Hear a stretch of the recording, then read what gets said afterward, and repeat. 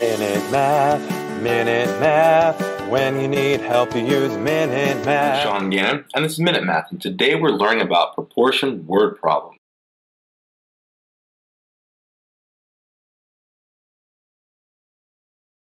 If you can buy one can of pineapple chunks for $2, then how many can you buy with $10, okay? So the number of pineapple chunks, right, we can buy, let's write that as P, okay? And we know it's $2 per chunk. So if we have $2 out in front here, $2 per one each pineapple chunk. So we, all right, so we now have $2 times P, okay?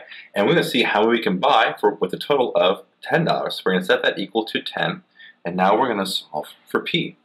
I divide both sides by 2, and that, or $2, right? It doesn't really matter here. Divide by 2. We're left with P, the number of pineapple chunks that we can buy, or cans of pineapple chunks. 10 divided by 2 is 5. And so our answer here is just 5. We can buy 5 pineapple chunks with $10. One jar of crushed ginger cost $2. How many jars can you buy for $4? All right. What I want to do is create an equation. I'm going to let the letter G, letter G, represent the number of crushed ginger jars that we're going to get here, right? And since they're $2, $2 per jar, 2 times G lets us set up the cost of a variable number of ginger jars. All right, so now we want to see how we can afford with a total of $4. Okay, so now I set up an equation. $2 times G, the number of ginger jars, is equal to $4. Now let's solve for G. I divide both sides by $2 to get G by itself.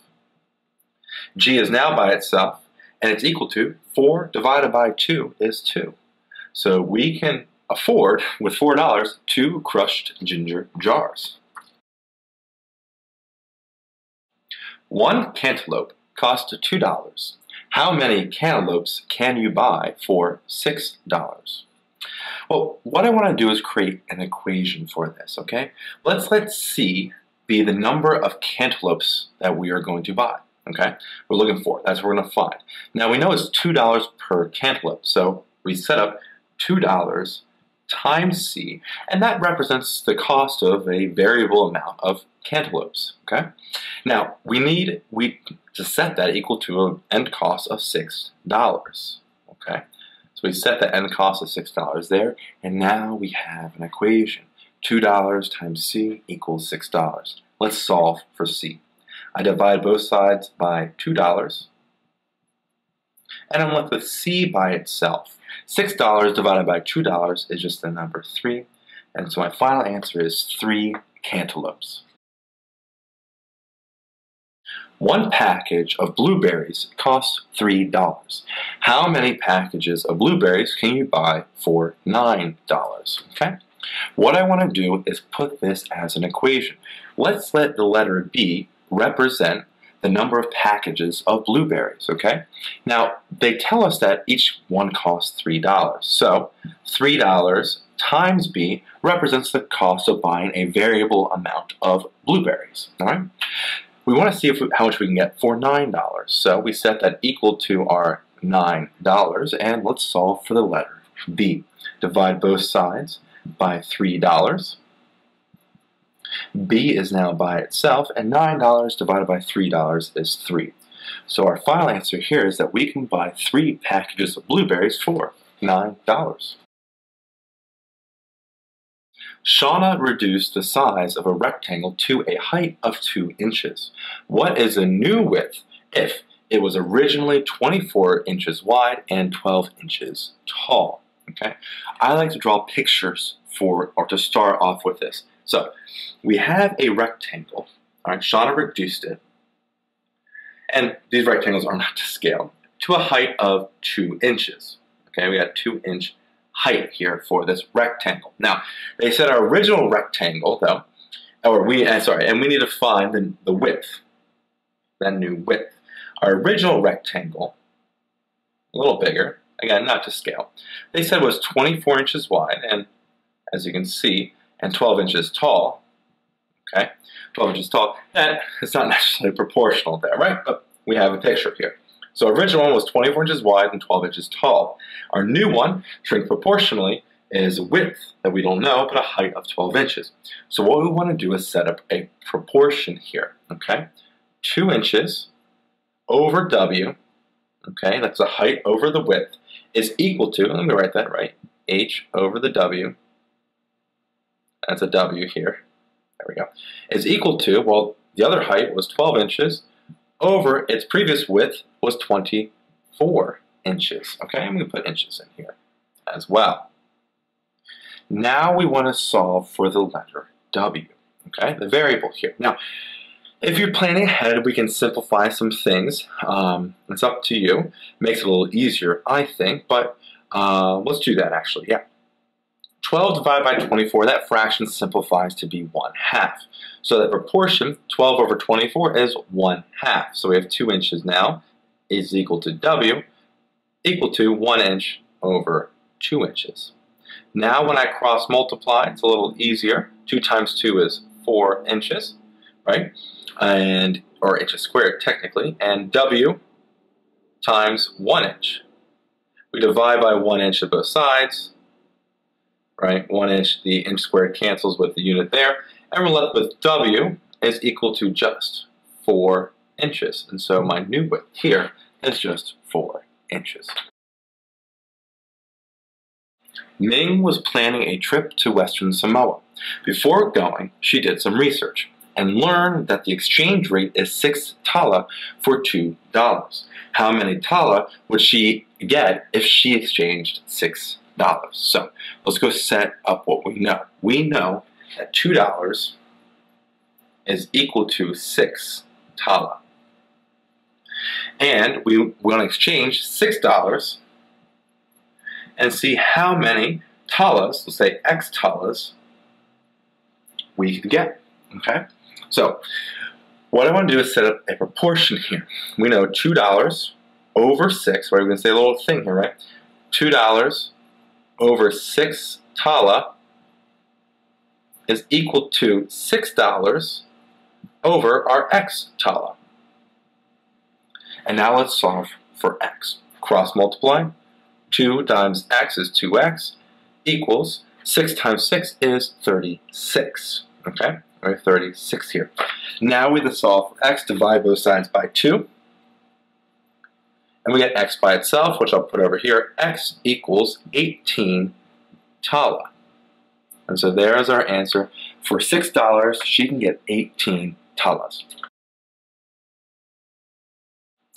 Jasmine bought 32 kiwi fruit for $16.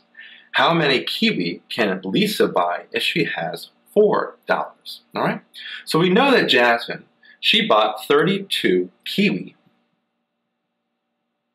for $16. So 32 Kiwi here is equal to $16. Now Lisa wants to see how much she can buy with $4. So she has $4 here, and she wants to see how many kiwis she can buy. So let's let the variable k stand for the number of kiwis she wants to buy, all right? Let's set up a proportion. 32 kiwis over $16 is equal to right? The letter K, number of kiwis that Lisa wants to get, right? Yeah, Lisa, for $4, okay? Now let's go solve this proportion, okay? So what I actually want to do is, you can cross multiply here, all right? But since K is really by itself on the right, if I just multiply 4 to both sides, I just, or bring 4 over here, I multiply 4 up, I'm left with 32 times 4 over 16, and it's equal to K. Now to simplify this a little bit here, what I like to do is, well, 16 and 4 are both divisible by 4. 16 divided by 4 is 4, and 4 is 1. Now 32 divided by 4, that's easy. So now we have k by ourselves, put it up here, k by ourselves, flipped it around, is equal to 32 divided by 4, which is just 8. So 8 kiwis is how many at least Lisa can buy with $4. If you can buy four bulbs of elephant garlic for $8, then how many can you buy with $32? So let's set a proportion here. Four bulbs can be had for $8. Okay? How many bulbs, that's our variable, say X bulbs, can be had for $32? Okay? Well, what I want to do is set up a proportion here, right? 4 bulbs over $8 equals X bulbs over $32. And let's solve for X. Now, this one's actually fairly simple, okay? When we cross multiply both sides right here, 32 and 4, so we have 4 times 32, and I purposely do not multiply that out yet, because I plan ahead. And then 8 times X. Now, when I divide both sides by 8 to get X by itself here, okay, X by itself, I can find it's a little easier to simplify. 4 go, and 8, right, are both divisible by 4, so they cancel each other out, and we're left with a 2 here. All right. Now 32 divided by 2 is 16. I just find that's easier to deal with. So our final answer here is just 16 bulbs. One bunch of seedless black grapes cost $2. How many bunches can you buy for $20? All right. So we'll set up a proportion. One bunch they tell us costs $2. And we want to find how many bunches, so X bunches, can we get for $20? All right? Many bunches for $20? All right? So let's go set a proportion up. One bunch for every $2, whoops, dollar sign on this side here, ignore that, equals X bunches over $20. Okay? And so we cross multiply here, this proportion, and 1 times 20 is just 20. So we have $20 equals $2 times x. Now we solve for x, we divide both sides by 2, and we get x by itself, and it's equal to 10. So our final answer is just 10 bunches.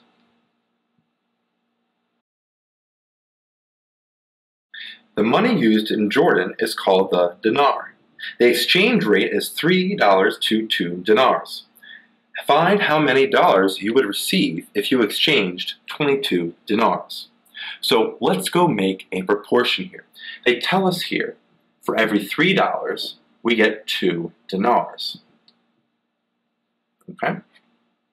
How many dollars, X dollars here, we're looking for, would you receive if you exchange 22 dinars. All right, so let's go set up a proportion. $3 over 2 dinars equals X dollars over 22 dinars. So we want to cross multiply here. 22 times 3 and 2 times x. Now, I am not actually going to multiply that number out. You'll see why in a second. 3 times 22 is on the left here, and 2 times x is on the right. Well, x I want to get by itself, so I'm going to divide by 2 to both sides. This leaves me with x by itself on the right, and 2, well, that easily goes into 22 11 times. So now we're left with 3 times 11, which is $33, right? That's our variable for x there, or the unit.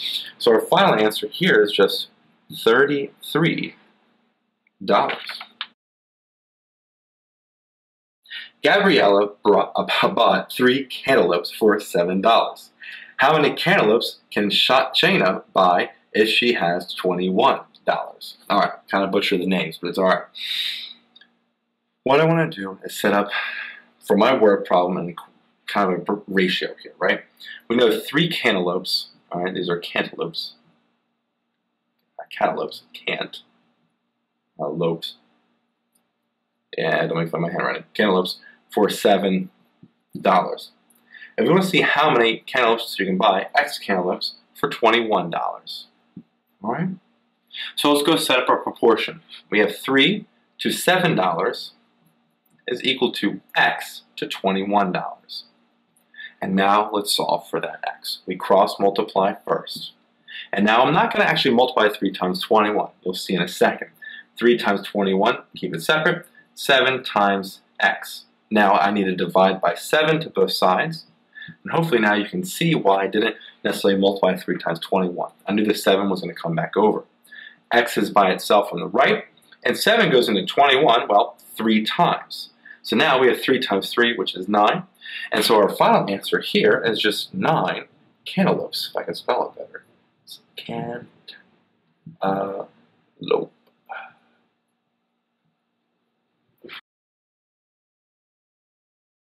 Jenny was planning a trip to the United Arab Emirates. Before going, she did some research and learned that the exchange rate is 4 dirhams for every $1. How many dirhams would she get if she exchanged $5?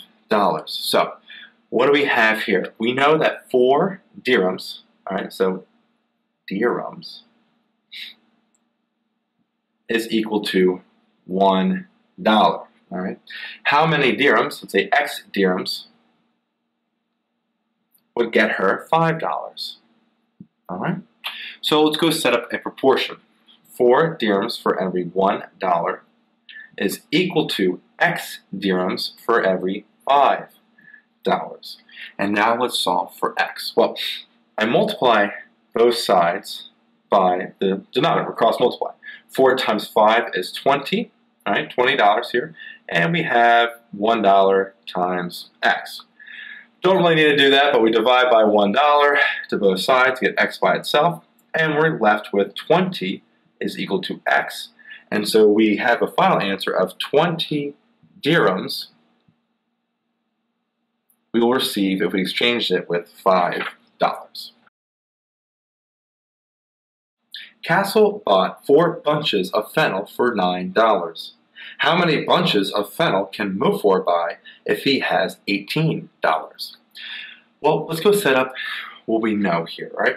Four bunches, so we have bunches here. Four bunches is equal or cost $9.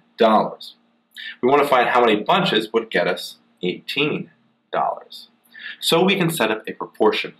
4 over 9 equals x over 18. And then we want to solve for x. Well, let's cross multiply here. And when I cross multiply, I won't actually multiply 4 times 18. I'm just going to write it out. 4 times 18, and that equals 9 times x. Then from there, we want to divide by 9 to both sides to get x by itself. And this is why I don't multiply it out. 18 divided by 9 is an easy problem to do. 18 divided by 9 is just 2. And now 4 times 2 is 8. And so our answer here is 8 bunches. That's 8 bunches of fennel will cost us $18. If you can buy one fruit basket for $30, then how many can you buy with $60? So let's go set uh, what we know here. We know one fruit basket, so we have the number of fruit baskets here.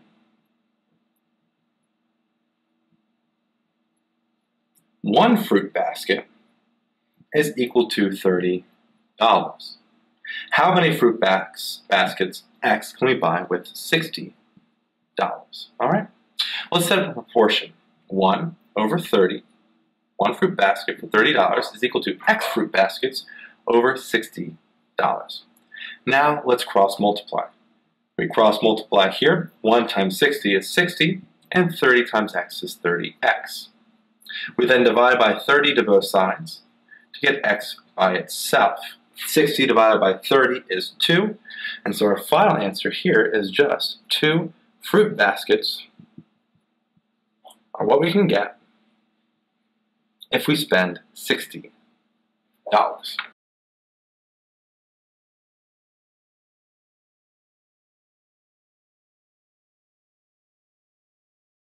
Asanji took a trip to Mexico. Upon leaving, he decided to convert all of his pesos back into dollars. How many dollars did he receive if he exchanged 42.7 pesos at a rate of $5.30 is equal to 11.1 pesos? All right. So what I'm going to break down first is that $5.30 we know is equal to 11.1 pesos. And we know that Sanji has 42.7 pesos. And we have to figure out how many dollars, X dollars, he will receive. All right? So let's set a proportion. $5.30 over 11.1 pesos is equal to X dollars over 42.7 pesos. Now, let's cross multiply. We cross multiply here, we cross multiply there. We have 5.30 times 42.7 is equal to 11.1 times x. Now if we divide both sides by 11.1, and let's make this a parenthesis so it's not as, okay, parentheses right there, multiplication, there we go. If we divide by 11.1, all right, to both sides, we're left with x by itself. That comes out to be a 20.39, and so our final answer here in dollars is 20.39 dollars. We multiply these two numbers, 530 times 40, 42.7, divide that by 11.1, and we get 20.39 dollars. The currency in Argentina, where my family's from, is the peso. The exchange rate is approximately $3 to 1 peso. At this rate, how many pesos would you get if you exchanged $121.10? So, one thing they tell us right off the bat here is $3 equals 1 peso. All right? And we want to find out how many pesos we would get if we exchanged $121.10. How many pesos? Okay? So, we want to find that variable x there. So let's set a proportion.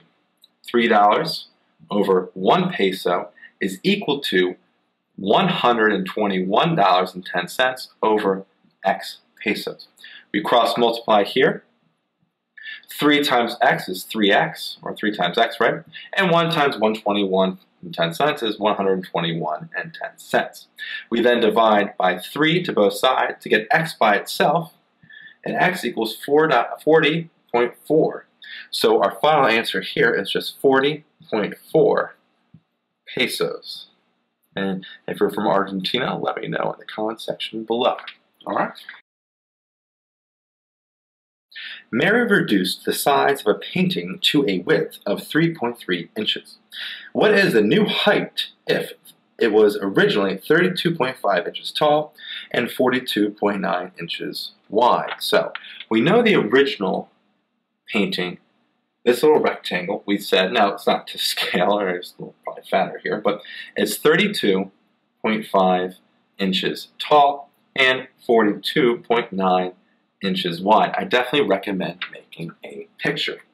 She reduced that to a width here, get a little picture here, a width of 3.3 inches.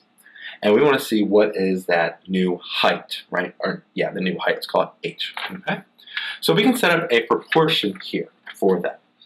The height to width. So 32.5 inches for every 42.9 inches in the width is equal to our height of the new rectangle and its current width of the new rectangle, the new width, 3.3. Then we solve for h. Well, let's cross multiply here. 32.5 times 3.3 is equal to 42.9 times h. Excuse me. Now we divide both sides by 42.9 to get h by itself. And we take 32.5 times 3.3 divided by 42.9, we get an h value of 2.5. And so our final height is equal to 2.5 inches. Molly bought two heads of cabbage for $1.80. How many heads of cabbage can Willie buy if he has $28.80? So what I want to set up here is what we know. Two heads of cabbage. So let's do our heads of cabbage here. And cabbage was a nickname of my sister growing up. All right. So two heads of cabbage costs us, a little fun fact, $1.80.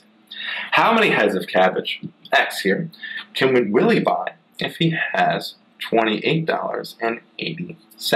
Okay? So, Let's set up a proportion. We know 2 over $1.80 equals x over $28.80. Okay? And we'll put that there. Two heads of cabbage for every $1.80. X heads of cabbage will cost us $28.80. We need to find that x. Well, we cross multiply here. Cross multiply. So we have 2 times 28.80 is equal to $1.80 times x. We divide the $1.80 to both sides to get x by itself. And we have x equals, well, 2 times 28.8 divided by $1.80 is 32.